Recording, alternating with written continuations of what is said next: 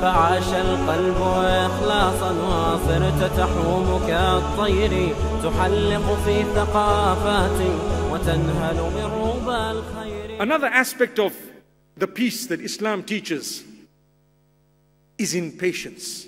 يا أيها الذين آمنوا استعينوا بالصبر والصلاة. إن الله مع الصابرين. O you who believe, seek assistance through prayer and patience, or through patience and prayer. What is this patience?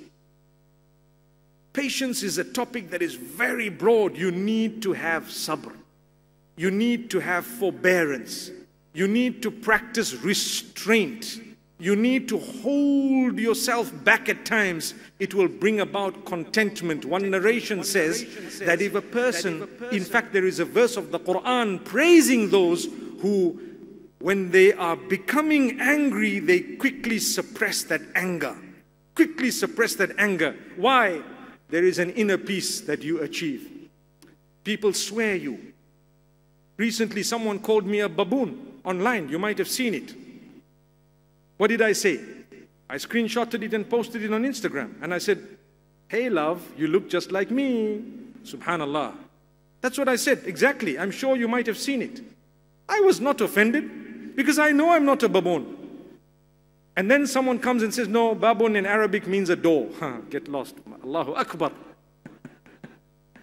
baboon, you know, a bab is a door. But I know what they meant an insult. Why get angry? Imagine if I said, okay, I, am not a baboon, you're an ape. And then he sent, sent me back a message to say, you're a dog, and I sent you a swine, and so on. It doesn't stop.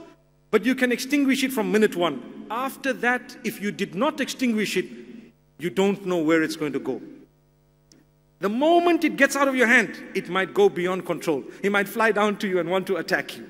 Who knows? It started off with a little message. For now, we laughed at it. And we said, whoa, subhanallah.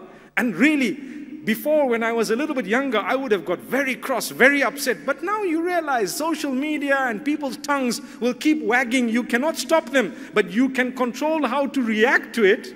You can control how to retaliate or how to just remain calm or how to give back in a unique way. Subhanallah. You can give back. Smile about it. Make a joke of it. They might get more irritated. Imagine someone trying to irk you, trying to really make you angry, and you're just smiling. Whoa, subhanallah. So, this type of patience, this restraint, you will enjoy it at a certain stage. It will bring about that peace where, with a smile, you react to those who swear you.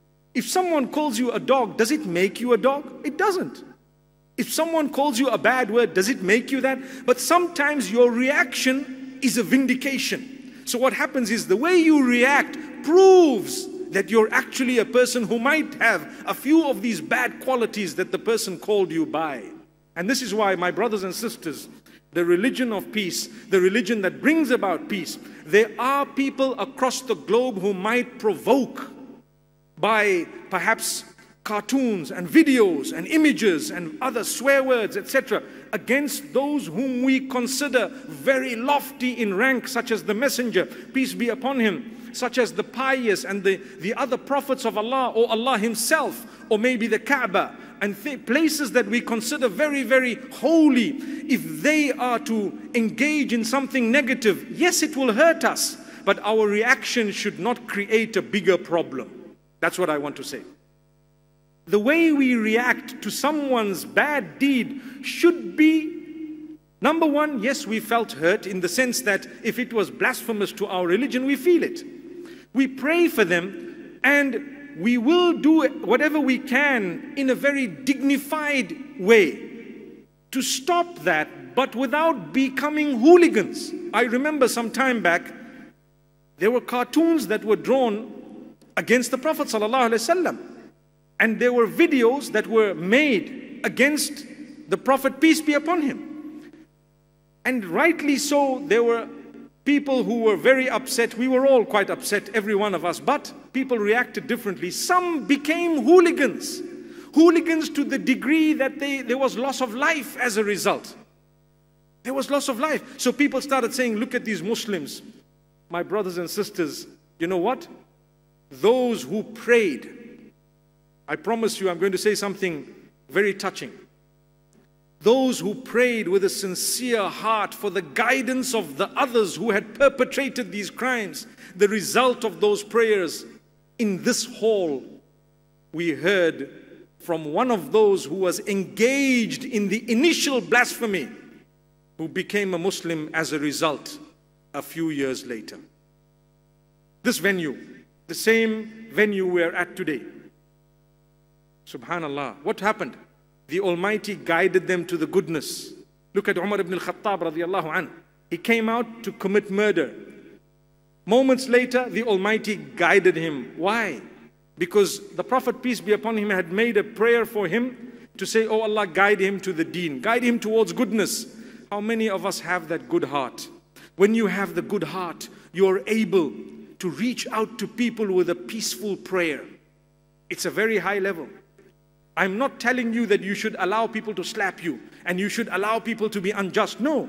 When you're standing up for justice, do it in a dignified way.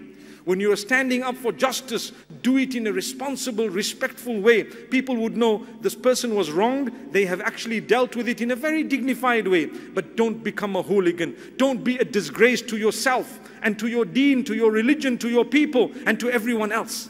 We have to build this globe together.